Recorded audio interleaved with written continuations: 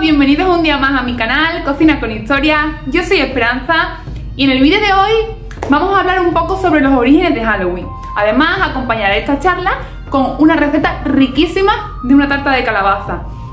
Y sin parecer muy tonta, es la mejor tarta que he probado nunca. Así que nada, quedamos a ver el vídeo y comenzamos.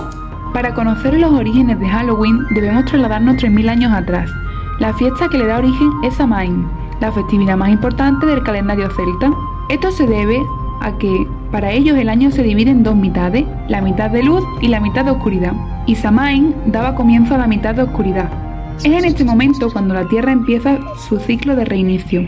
Ello era un momento en el que las leyes de la naturaleza quedaban en stand-by. Se creía que el velo que separaba el mundo de los vivos y el de los muertos caía, debido a ese descanso o pausa que se tomaba la propia naturaleza. Así podía haber comunicación entre los dos mundos. Había muchas formas de celebrar esto. Una era organizando un gran banquete con numerosos víveres, dejando asientos libres en las mesas para que sus difuntos pudieran participar. Se encendían hogueras gigantes con el fin de guiar a los buenos espíritus y mantener alejados a los malignos. Druida de la tribu se vestía con pieles y se maquillaba para así adoptar la forma híbrida de un ser que se comunicara con ambos mundos. Cree que de esta tradición venga la costumbre actual de disfrazarnos. Con el auge del catolicismo, esta fiesta pagana se cristianizó y comenzó a llamarse la Víspera de Todos los Santos. En el siglo VII, el Papa Bonifacio IV consagró un día para todos los santos, pero no fue hasta época posterior cuando el Papa Gregorio III lo cambiaría al 1 de noviembre, coincidiendo así con la celebración de Samaín. En definitiva, ya sea por una cultura u otra, hay que reconocer que el otoño marca un antes y un después en el ciclo de la vida.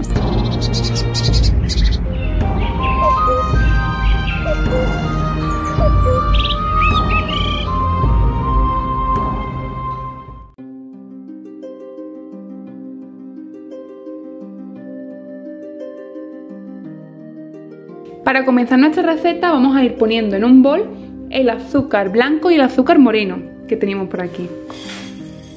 Vamos a añadir ahora el aceite de girasol y vamos a comenzar a integrarlos con la varilla eléctrica.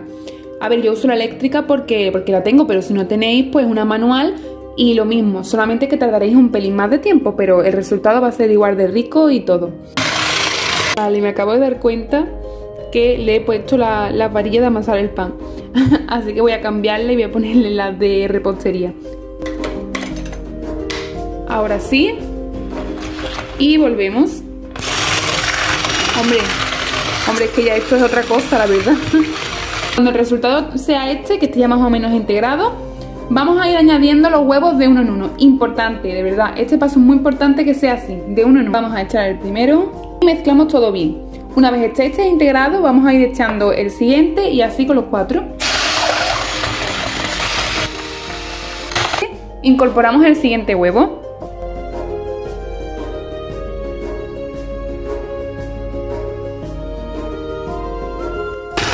Y ahora sí, vamos a incorporar otro huevo.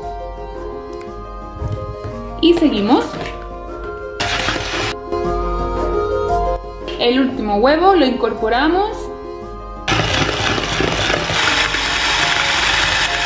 Cuando tenga esta textura, vamos a apartarlo un momento y lo que vamos a hacer es un puré de calabaza. Para la elaboración del puré de calabaza solo vamos a necesitar calabaza asada y una picadora.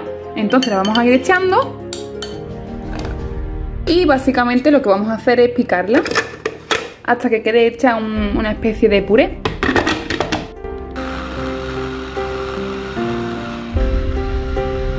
Estas son las pintas con las que nos ha quedado el puré. Y ahora recuperamos nuestra mezcla de antes, de aceite, azúcar y huevos, y vamos a ir incorporándole el puré. Agregando el puré de calabaza que teníamos hecho, tiene hecho un olor riquísimo. Esta parte de calabaza la podéis sustituir incluso por, por boniatos, pero a mí personalmente me gusta más el sabor que le da la, la calabaza. Y le añadimos también una cucharadita de vainilla. Ahora sí, vamos a integrarlo todo.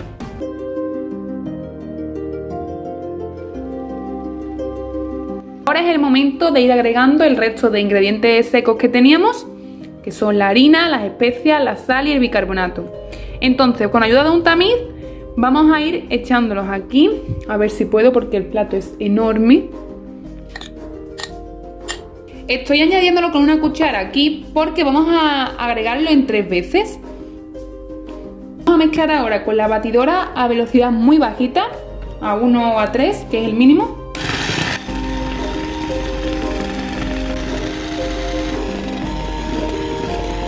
Y ya tenemos la primera tanda de harina mezclada con, con el resto. Vamos a ir agregando el kefir que tengo por aquí y lo mezclamos.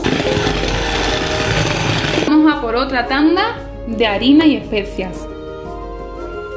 Y volvemos a mezclar a velocidad muy baja.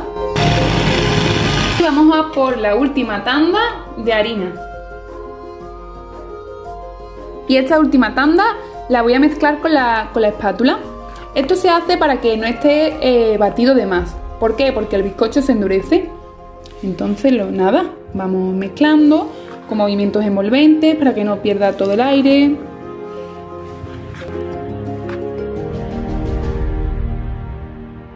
Bueno chicos, una incorporación de última hora. Me he acordado que tenía ahí orejones, entonces he pensado que le podrían venir muy bien unos trocitos.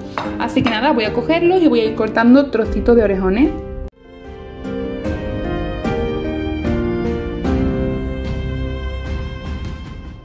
Ahora he cogido dos moldes que en la medida de lo posible sean del mismo tamaño y les he puesto papel de horno. Lo que vamos a hacer es, cogemos la masa y con un cazo, de estos de, cocina normal, vamos a ir repartiéndola en los dos moldes para que más o menos haya la misma cantidad en ambos. Entonces vamos echando, a ver si puede ser que esto se ponga bien.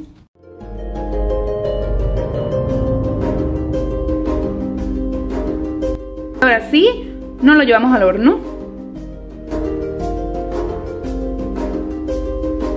Bueno, ya he sacado los bizcochos del horno y lo que vamos a hacer ahora es desmoldarlo para que se enfríen en la rejilla y así no, no generen humedad.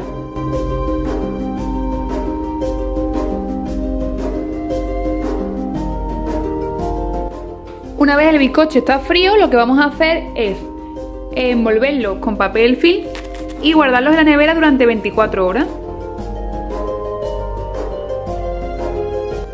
Y bueno, ya han pasado 24 horas y por aquí tenemos nuestras bases de tarta y las voy a dejar reposar un poquito a temperatura ambiente. Mientras tanto, lo que vamos a hacer es hacer la buttercream. Para hacer la buttercream vamos a poner en un bol la mantequilla a temperatura ambiente a ser posible y con ayuda de la de la batidora. Como siempre, yo utilizo esta, pero podéis usar la manual. Vamos a ir deshaciéndola. Ahora lo que vamos a hacer es ir agregando muy poco a poco el azúcar glass. Y vamos batiendo a velocidad baja para que esto no sea una nube de, de azúcar.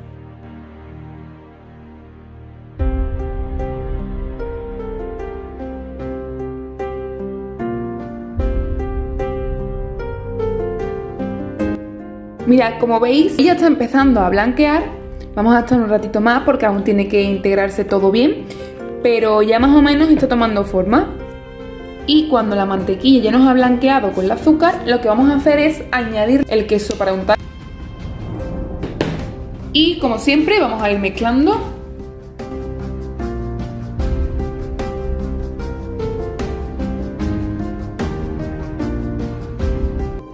y listo. Aquí tenemos ya esto preparado y vamos a reservarlo en el frigorífico mientras desmoldamos los, bizcochos del, plástico. Por aquí los tengo y nada, vamos quitando el plástico. A ver si así puedo, para no tener que... Con cuidado porque de verdad que estos bizcochos son súper tiernos. Aquí tenemos uno, que lo voy a poner aquí. Para montar la tarta he cogido una plataforma giratoria porque me va a resultar más fácil para, poner después la crema, pero vamos, podéis montarlo en un plato corriente y no pasa nada. Y vamos a empezar cogiendo un poquito de la crema que tenemos hecha y la vamos a poner aquí.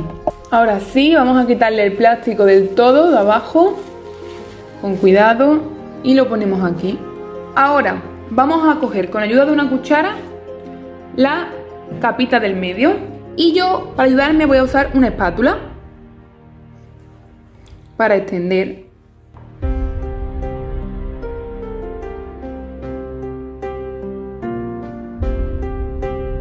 Ahora vamos a poner el segundo bizcocho. Y con el resto de crema que nos ha quedado pues vamos a ir haciendo una pequeña capita bueno con todo el resto no, con un poquito de crema vamos a hacer una capita a modo de, de sujeción. Y por los bordes de aquí hacemos exactamente lo mismo. A modo de sujeción vamos dándole una capita. Cuando ya tenemos la tarta recubierta de esta primera pequeña capa lo que vamos a hacer es llevarla al frigorífico, nada, unos 5 minutos más o menos, para que se enfríe un poquito. Aquí la tenemos, ya han pasado los 5 minutos y ahora sí, vamos a ir montando la parte de arriba.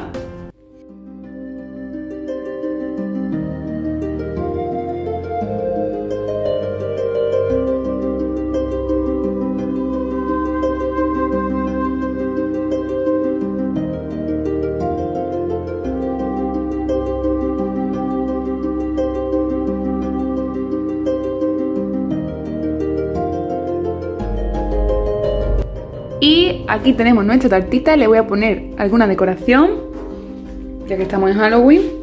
Vamos a decorar, vamos a ir poniendo algunas calabazas.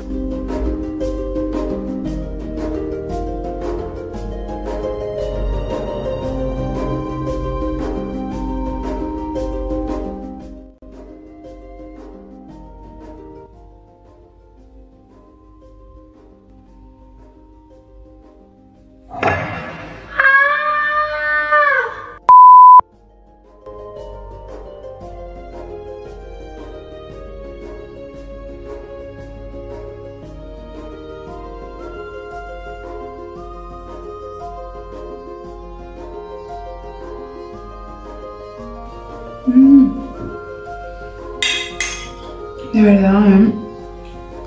Y bueno, hasta aquí llegó el vídeo de hoy. Como siempre os digo, si os ha gustado, darle like y suscribiros al canal para así yo poder seguir creciendo en YouTube y vosotros estar al día con todo el contenido. Es muy importante que cuando os suscribáis activéis la campanita para que así os lleguen todas las notificaciones.